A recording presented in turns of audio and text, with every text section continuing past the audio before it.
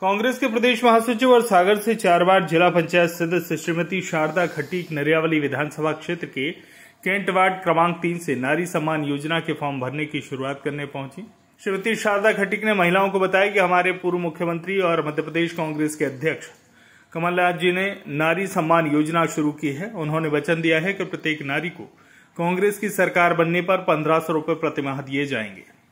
Gas cylinder पाँच सौ रुपये में दिया जाएगा। हमारी बहनों की इस योजना में उम्र का कोई बंधन नहीं होगा। इसके साथ ही सौ यूनिट बिजली का बिल माफ़ किया जाएगा और 200 यूनिट बिजली पर बिल हाफ़ किया जाएगा। नारी सम्मान योजना के फॉर्म भरवाने में महिलाओं में काफ़ी उत्साह देखा जा रहा है कैंट वोर्ड में। तीन में 200 से अधिक महिलाओं ने फॉर्म भरवाए।